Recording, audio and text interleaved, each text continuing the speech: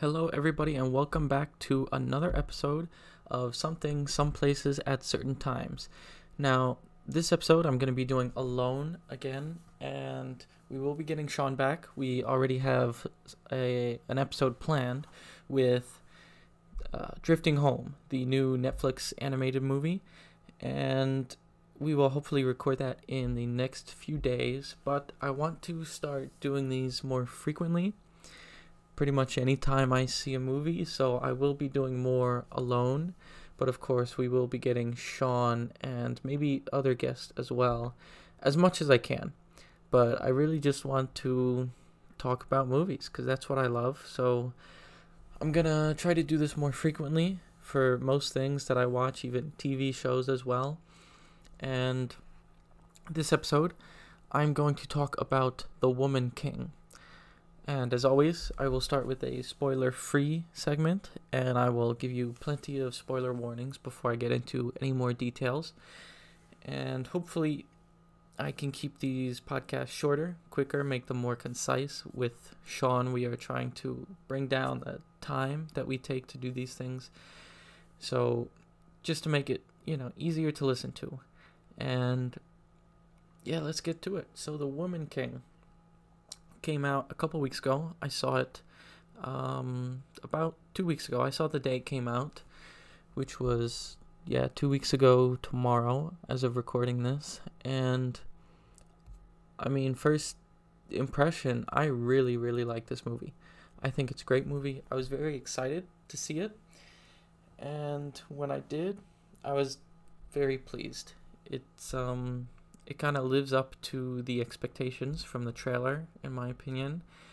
And yeah, I think it's great. So I'll get into some of it. The acting, of course, Viola Davis plays the main character named Nanisca. And they have also Nawi is the young character played by Thuso Mbedu. Um, I'm not sure if she's done many th- other things. Let me look her up. So she she has done a few things, um, nothing that I'm really familiar with. So this was the first time I saw this actress, and I thought she was great as well. All the acting in it was great. John Boyega plays King Ghezo, um, Lashana Lynch playing Izogie. I think they all did a great job. The performances are great. The action sequences are fantastic. The action is really good. The fighting is good for a group of warrior women, they really feel strong. They really feel like they can beat the crap out of all the men that they fight in this movie. And I think it's it's really well done. And I know the whole cast did do a lot of training for this and it shows. Viola Davis and all the other women look so strong and fit in this movie and I think it's great. And yeah, so let's move into some of the other stuff. Of course, I mentioned the action is great, and the music I think is very good too. It's not a soundtrack that I would listen to just for the sake of listening to, but it fits the film and it really enhances many of the moments in the movie very well. Now, I'd like to address some of the historical bits of it because it is, of course, inspired by true stories, and it is based on a, a real kingdom and a real group of female warriors, the Agojie, from the kingdom of Dahomey, which is in modern day Benin. And I, of course, I studied history, so I have a degree in that, so I'm obviously very interested.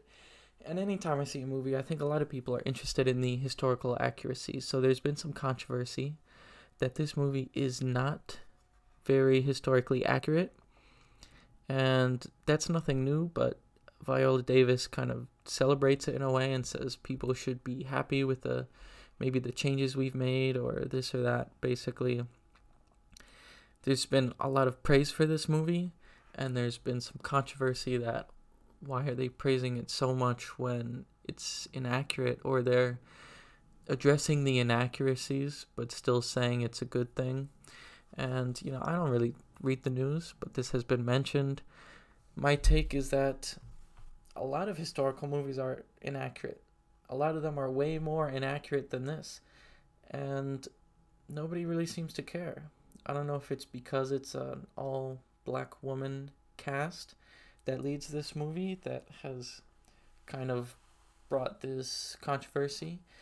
And it is it does mention the slave trade, of course, takes place in the year 1823, 1824. Um, you know, early 1800s, and it is there are some true events. There was the Dahomey, the kingdom, was involved in the slave trade, and in this movie you see some resistance to the slave trade, whereas in real life, the Dahomey kingdom took part in the slave trade until the 1850s. I don't remember the exact year, but there there are many articles you could look up to see how they discuss this. And I've read a few myself, and yeah, that they were involved in the slave trade until the 1850s, and they ended more due to political pressure by the UK rather than their own want to get rid of it.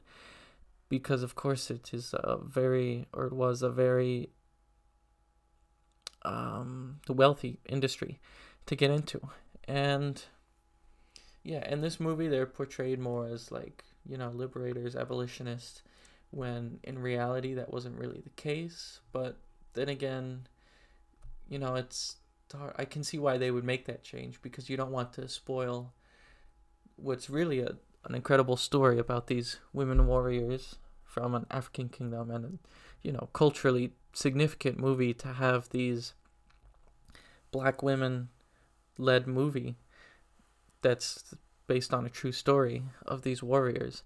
So it I feel like if they you know just mentioned oh yeah they were slavers for another so long then it would kind of take away from the good parts of the story that they're trying to get across.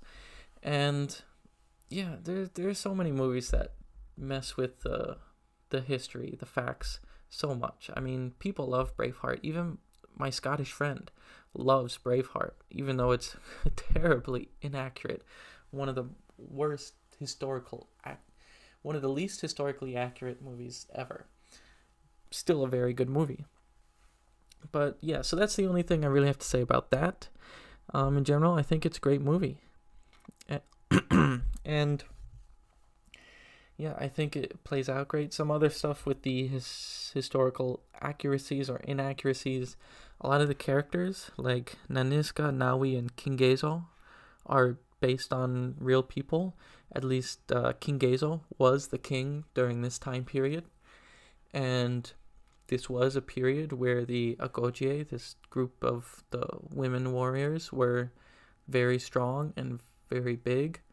King Ghezo had kind of expanded it a bit. He was at like their the peak of their power, him and his son, who was the following king and Nawi and Nanisca are both names of actual Agojie warriors, but they came at different times, and their stories are in this movie is kind of more fiction. As far as I'm aware, the personal stories between the main characters is kind of made up.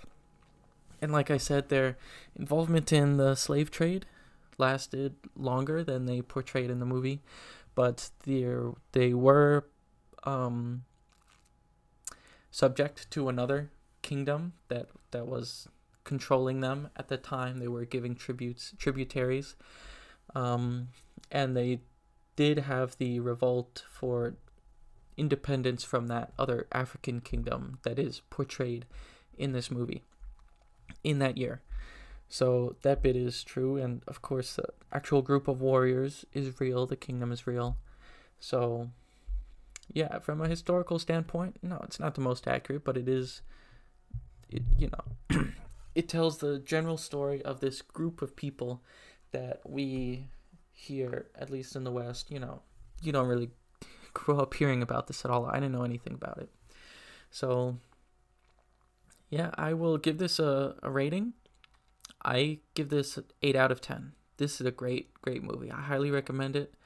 I think a lot of people should go see it. They could learn a lot about this kingdom, about this part of Africa, and the history of it. even if it's not completely accurate, but it is a, a great movie, and I think it lives up to the expectations that I had from watching the trailer. I was very excited to see this movie, and when I saw it, I thought it was great. So now I will mention some more details with spoilers. So, spoiler warning from here on out. If you haven't seen it, please go see it. All right. So the opening scene, when they are fighting, they sneak up at night to this camp from another tribe. I don't remember the name, but it's the first opening scene of the movie, the first fight. I thought it was really good. It showed that they were strong, that they could really fight, that they were really good. And I really liked it. Like I said, it, it showed their strength. And I think that was a great way to open it up. The action was good. They looked badass doing it. And yeah, it was just a, a, a cool introduction. And then showing them in the kingdom after that, I think is cool. You see the kind of things that the kind of almost mythical uh, rumors that go around based on this group, the Agojie, within their kingdom of Dahomey. And I think that's really cool. So, what comes next is kind of getting into the, the story of Nawi, right? She gets given to the warriors to train um, because she doesn't want to get married and, you know, doesn't fall in line with the sort of patriarchal society. I think what this movie shows with that is that, yes, we have these strong women warriors and they have privileges that no other kingdom in Africa and indeed even in a lot of other continents really had, especially at the time. and but they're still part of a more or less patriarchal society where this girl is expected to marry whoever her father wants her to. And eventually her father has enough and gives her up and that's how she becomes a warrior. And like any good, you know, military training movie, they, they show her struggling getting better until she finds her place and I think it's all done really well. I did read in one of the articles about the historical accuracies when they show the ceremony of them going through the final test, their trial, to become warriors, them running through the thorn bushes, them uh, fighting the the dummies, them climbing the obstacles. I did read an article which had an account, I believe it was from a French soldier or a merchant or something who said, I thought they were crazy. I can't imagine anyone who would do that without thick boots or clothing to protect them. And they do it in minimal clothing, barefoot. And so it, it shows there is some accurate parts representing their actual training and the stuff that they would endure and go through to become these fearsome warriors. So I thought that was great. It was a great scene. It showed what they're capable of and the stuff that they go through. And after that, the the story between Nanisca and Nawi, and Nanisca finding out that Nawi is the daughter that she gave up. I thought that maybe that was a little bit too much. Like it was almost I mean, not I wouldn't say predictable because I didn't hear about it throughout the beginning of the movie until it got to the point where Nanisca uh, is talking to Amenza and they mention like what did you do with the child it's like i gave her up they don't mention it directly but it's easy to insinuate that what she means is she's afraid that Nawi is her child and she never knew it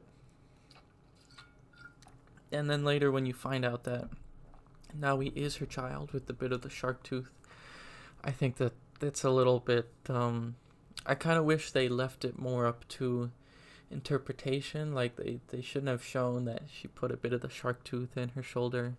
They should have just had the scar, and in my opinion, I think it would have been cool if they didn't confirm it. So you could choose to think that if you want, or not, it doesn't really matter. What would have mattered was Nanisca's reaction to it and her beliefs, and whether she treated Nawi as her daughter or not. So, yeah, other than that, like that that bit I thought was a bit, you know, you're getting a little too much fiction, a little almost a kind of predictable or maybe overdone story with that. But um, you know, otherwise I think it was great. They could have just shown them bonding as a you know gaining that mother daughter bond through their training. And it could have maybe had the same effect, I don't know, but the way it was, I just felt like that that little bit of the story, especially with the shark tooth, I felt was just kind of took me out of it just a little bit. But otherwise, I thought it was great. The battle at the end was great. the big battle on the open field of them sneaking up, although I would say they could have snuck up a little better. Like, how did nobody out there see them? They were in an open field and then just started walking towards them. Like, nobody was like, hey, look, there's all those warriors over there coming out of the trees. Mm, yeah, all right. But, you know, that's how they always do it with action movies. And then all the explosions come. And I thought it was really cool. Lots of good fighting with the women warriors and the men warriors to show that, you know, this kingdom, they're not kind of fluffing it up to say it's just the women because the men were there too. But of course, this movie focuses on the Agojie, the the women. So, yeah, I thought it was great, and um, yeah, and then the last battle in the like the town center where the slaves were held and traded, going to free the slaves or free Nawi, the the Agojie who had been captured.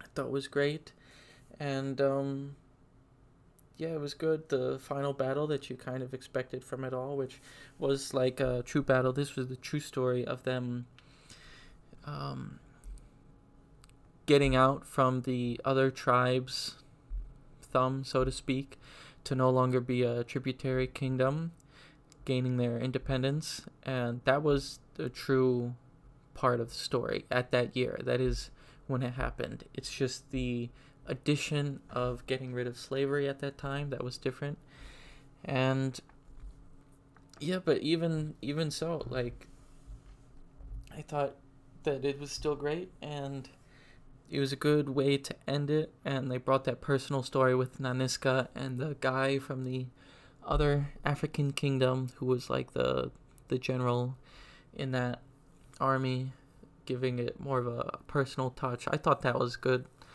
and so she has a beef with this guy. She's out for vengeance with him, and yeah, I think it all worked out really well in the end. And the story was good. It was emotional, and if you stayed after the the like first half of the credits, you saw that uh, Amenza was doing sort of a ritual. Um, I guess uh, I don't know if it's an, an offering of gifts like that they they showed for the warriors who had died. I kind of wish they put that before the credits. They didn't need to put it mid credits, um, but it was a, a nice thing to see if you did stay for it. If you didn't, there was a little scene that you missed, but hopefully, if you're listening to this, you saw it. And yeah, I think it was cool. I I'm not sure if that's like an accurate ceremony or anything they would have really done. I'd be interested to find out, but yeah, I think was this movie in general did a great job showing these warriors as good as they can be. And yeah, I I thought it was great. It lived up to all my expectations.